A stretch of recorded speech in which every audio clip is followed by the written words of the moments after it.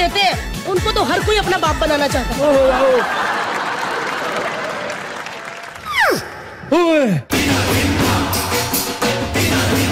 अच्छा अनिल कपूर जी हाय। कैसे सर आप? तेरी दाढ़ी है इसका मतलब ये नहीं किसी को भी बोली जाए। तेरे से छोटे लगते हैं वो।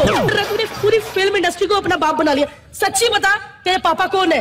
अब अब अब अब अब अरे यार अब मेरे को बोलना ही पड़ेगा। बस मेरी बोलती बंद नहीं हो सकती ज़्यादा देर। अरे यार पूरी फ़िल्म इंडस्ट्री का बेटा हूँ मैं क्योंकि हमारी फ़िल्म इंडस्ट्री एक परिवार है जहाँ हर धर्म मज़हब के लोग एक साथ प्यार मोहब्बत से काम करते हैं यार। और सरहदें भूलकर क्या हिंदुस्तान क्या पाकिस्तान क्या चाइना अरे यार भारतीय सबको एंटरटेन करते हैं हाँ।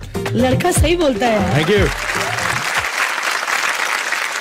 क्या बात है? आज से तेरा नाम मुन्ना नहीं आज से तेरा नाम मनीष पॉल है। एक बार जोरदार तालियाँ मनीष पॉल के लिए। Thank you thank you very much I love you all और साथ ही में जोरदार तालियाँ भारती सिंह के थैंक यू लिए B H A R T I S I N G H very good Bharti यहाँ पे सब लोग पढ़े लिखे हैं। स्पेलिंग बताने की ज़रूरत नहीं है रियली पता है सब पढ़े लिखे हैं। हाँ। अरे मैं अकाउंटेंट को बता रही हूँ। क्यों? कहीं चेक पे मेरा नाम गलत लिख दिया तो? ओहो या ये भी बात है। मैं भी इंस्पायर हुआ हूँ भारती के लिए। तुम्हें पतला बनाने का जुनून सर पे है. कैसे हैं इला जी? मैं बहुत अच्छी हूँ भारती आप बहुत सुंदर लग रही हैं। थैंक यू सो मच एक बार जोरदार तालियाँ लीला जी के लिए। मेरे लिए कुछ कह रही है? क्या इला जी वैसे मनीष, जैसे हर शो में आप आप बड़े हैंडसम लग रहे हैं और ये पतली हो चुकी हैं तो आप इन्हें टोके ना। बस इससे ज़्यादा मैं सांस अंदर नहीं कर सकती। इस खान से अपना सूट बनवाना हो हमें कभी भी कॉल करें। सॉरी ओके हम्म, दो लाइनें। बट मैं चाहती हूँ कि अ, भारती जी प्रेम रतन धन पायो की वो सिग्नेचर स्टेप करे मेरे अरे ये साथ। 500 किलो का स्टेप करके दिखाइए बेटा। अब आपको दिखाते हैं जब बारह 12 में एक साथ डांस करती हैं कैसी लगती है? रेडी सैया तू कमाल का बातें भी कमाल की लगा रंग जो तेरा हुई मैं कमाल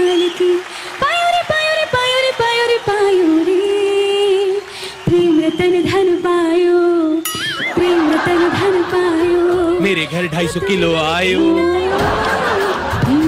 ऑफ़ ग्रेस सोनम ने कमर हिलाई थी इसने पूरा कमरा हिला के दिखाया। सूरज जी को आज पछतावा हो रहा होगा कि मैं भारती को ही ले लेता। तो बैक डांसर की इतनी ज़रूरत ना पड़ती। क्या करिए भारती? अरे यार यहाँ सलमान भाई आने वाले और तू मोबाइल में लगी। सलमान तेरे लिए मेरे लिए तो सल्लू। मनीष हाँ। तुम्हें पता है सबसे ज़्यादा एंटरटेनमेंट टीवी से होता है। ओ, मुझे लगता था बीवी से होता है।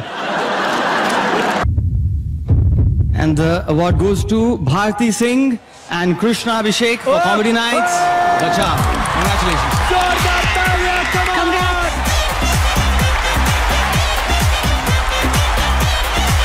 भारती ध्यान से स्टेज में खड्डा ना हो जाए।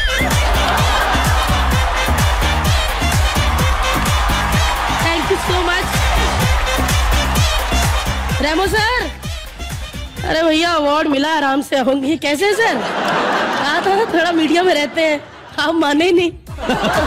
कैसा लगता है जब कोई गर्लफ्रेंड अवार्ड ले जाए तो? दिल चुराने आया रेमो चलिए, अभी फ्लाइंग जट भी आ रही है। कभी फ्लाइंग जट्टी के बारे में नहीं सोचा सर आपने? मेरे पे भी फ़िल्म बनाओ। बेटे फ्लाइंग जट जटनी सोचा था।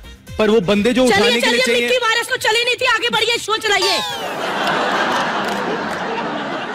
मनीष हाँ। तुम्हें ऐसे देखते हो तुम बड़े अच्छे लगते हो। Thank you. लेकिन जब भी मिक्की वायरस आती है तो दिल करता मुक्का मारो तेरी पीठ पे।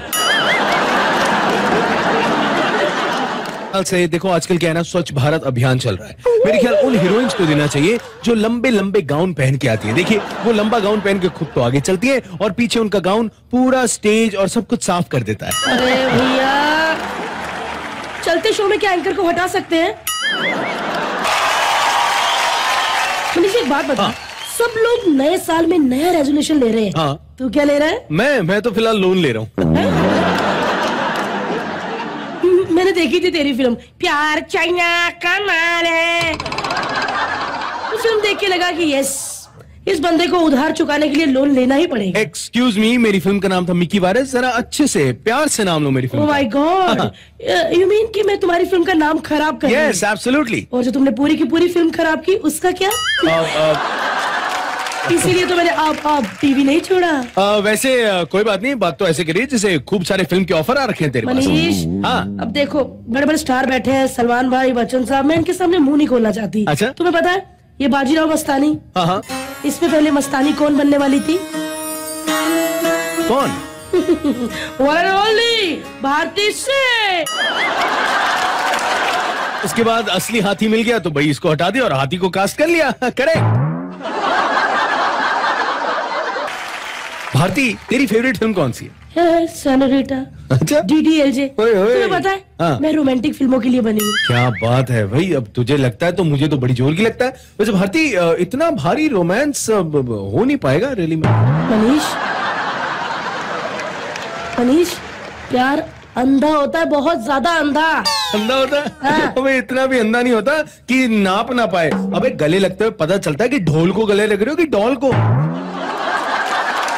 यार ये कुछ ज़्यादा नहीं बोलता। तुम्हें क्या पता यार? प्यार कभी मरता नहीं है। प्यार कभी मरता नहीं? तू बंदे पे पैर रख दे बंदा वैसे मर जाए कमाल ठीक है शुरुआत तेरे तो कर लेने नहीं नहीं नहीं, नहीं, नहीं, नहीं ए, एक काम करते हैं। नहीं नहीं एक काम करते हैं। हम अगले नॉमिनेशन की तरफ़ बढ़ते हैं। वेल अगला अवार्ड है big star most entertaining romantic film भारतीय नॉमिनीज देख तू नॉमिनीज आपने कहा बहन जी?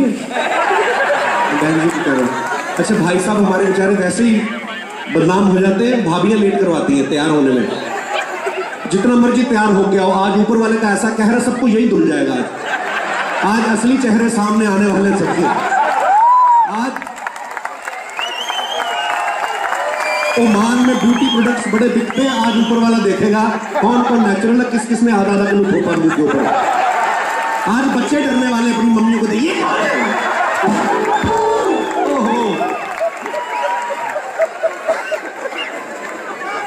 मेरा दोस्त टोनी सिंह किसी ढाबे बैठा खाना खा रहा था उसने 20-25 चपातियाँ खाई होंगी कम से कम।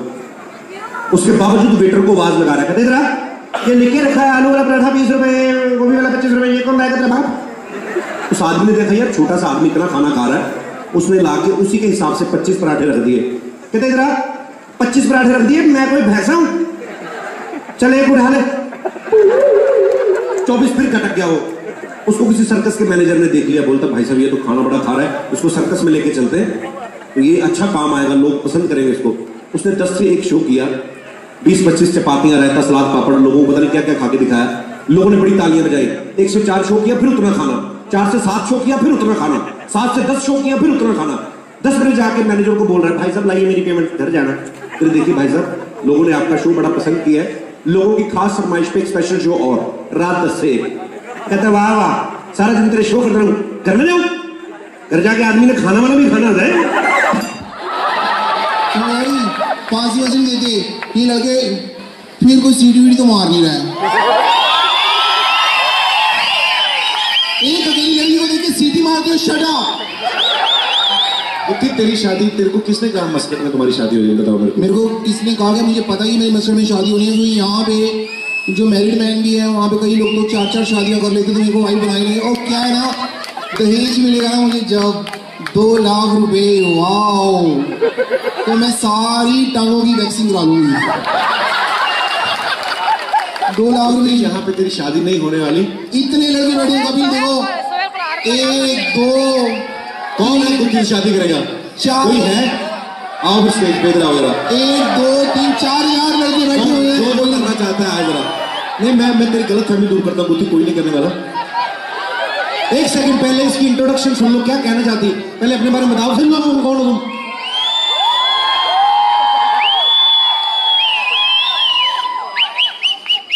पुत्री मस्कट मस्कट हैंडसम लड़के, एक के बाद एक हैंडसम लड़के, एक, दो, तीन, चार, यार लड़के। वाओ, कितना दहेज मिलेगा मेरे को। मैं बहुत सारी शादियाँ कर लूँगी। मैं यहाँ पे रिवर्स कर दूँगी। चार हस्बैंड में आऊँगी यहाँ पे।